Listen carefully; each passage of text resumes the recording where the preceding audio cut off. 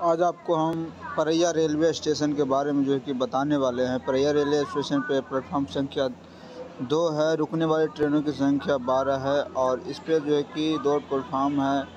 ये जो है कि बगल में आगा नेक्स्ट स्टेशन जो है कि गुरारू पड़ता है, इससे पिछले वाले स्टेशन जो है कि गया पड़ता है। ये जो है कि परैया रेलवे स्टेशन जो है कि सबसे प्रमुख रेलवे स्टेशनों में से हमारा परैया के आगे एक नदी पड़ता है।